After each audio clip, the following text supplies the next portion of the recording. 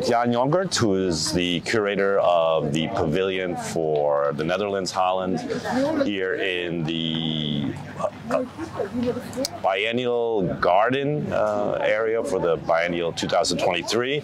And in front of the uh, presentation uh, on uh, plumbing systems Exactly. Well, plumbing systems. Why we? Jan, yeah, Jan Jongert is an architect. So why we talk about plumbing uh, at an architectural exhibition? Yeah. Jan, can you explain the reason for this? Well, it's, it's uh, indeed in traditional architecture you would maybe look at plumbing systems, but we're uh, dealing with plumbing the system. Right. Which means that we look at the larger systems, like hidden flows in our Right. society that currently. So it's a metaphor, but also a kind of technical yeah, approach. but also to see can we uh, make new connections that currently are yeah not working. Right, right. And uh, can we actually improve our surroundings in a, in a really systemic way? But you're an architect. How did you get into this aspect of looking at rainwater and plumbing and water? What was the what was what guided you into that process? Yeah, at some point when designing, I think already at uh, when studying, um, you can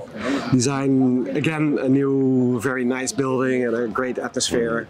But actually, the systems that run through it uh, maybe are even more defining and more important. And there, it, that's really where uh, problems occur Right.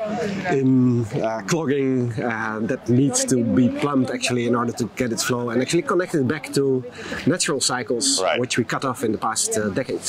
Uh, Holland, we know for its history, has always dealt with this water issue. So it's part of the also uh, the culture uh, of architecture and construction how to deal with this. Uh, is that something that affected your work at a micro scale here? Uh, yeah, well, I, I think uh, indeed, like, like we always had to deal with water. Uh, I'm living below a seawater level, so there's a dikes and pump system, etc.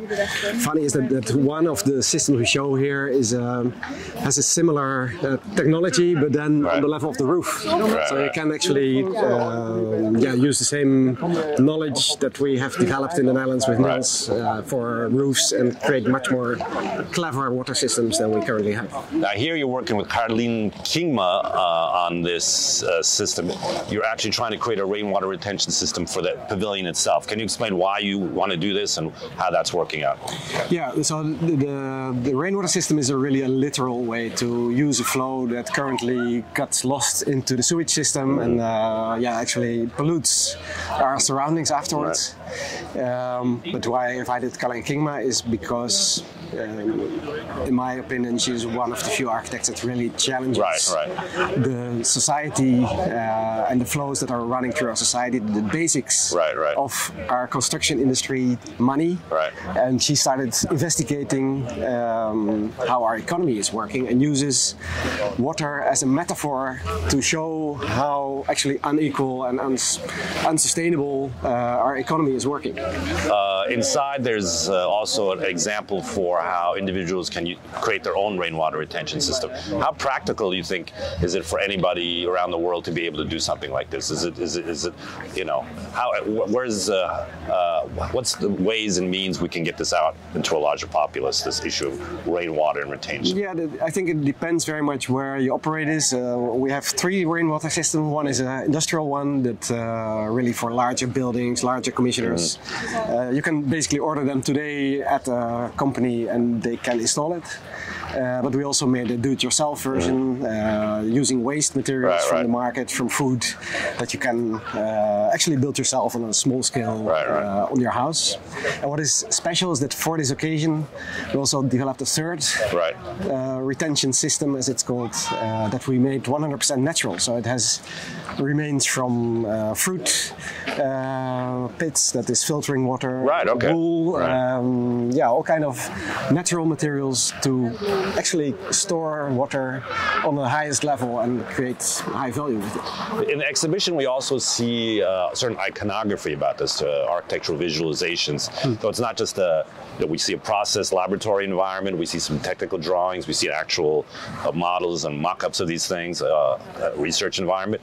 What do you feel can be the, uh, I think whenever you take this kind of technical environmental approach, um, uh, what we've seen is that people have a hard time understanding it because it's a systems way of of thinking. Yeah. And I noticed that you did have some iconographic kind of more utopic images. What do you feel is the role of that uh, in this exhibition? Why did you choose to do that? Yeah, I think I think we cannot just uh, change our environment on, on, a technical, rational level. It also we need to speak to our emotions, and uh, I think the drawings of Carlijn Kingma really uh, apart from that, they are very precise on the systemic level. Mm-hmm. Uh, they, also, they, actually show the system how it show works. really yeah. the system, uh, how our economy is working, mm-hmm. and uh, but because of the yeah the, the, intensity of the drawing itself, and actually also a tradition mm-hmm. in which he builds this, um, yeah, we see uh, wherever this is shown in the Netherlands so far, mm-hmm. uh, people really get they want to understand what's happening. Right, right. And uh, yeah, that's a great way. And in order to support this, also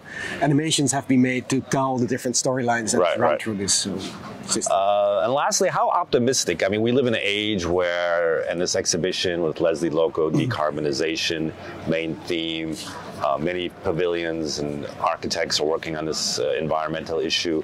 Uh, so it seems to be in the air, but how optimistic are you about the actual implementation of it? Because it hmm. seems to be kind of going slower than the thought process behind it. Yeah. What do you see looking forward as sort of yeah. key parameters in having more people accessible to this? Governments working on it, but also corporations and innovation in this area. Yeah.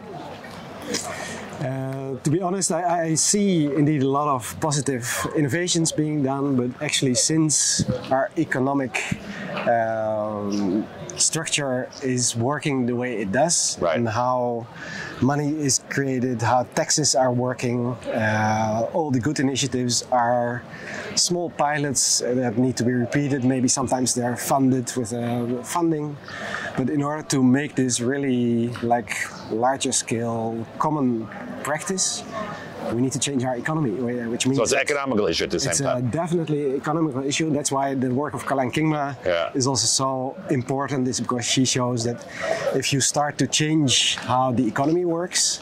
Um, then also you start to make different decisions. So our governments need to change their business model. Right, Architects right. need to change their business model. So it's a business model That's issue as, mu- as much as it's a technical definitely. issue. and, and the economy is actually a hidden structure that right. we also can redesign. Right, and right. That's uh, what's really powerful about social this. philanthropy, perhaps, uh, uh, social entrepreneurship. These kind of things you're talking about. Well, it's, it's even more fundamental. It's uh, yeah, actually that we think today we still uh, take a loan in order to get better in the future. We right. start to do good at this moment, uh, not to uh, take a debt. And also how taxes are working.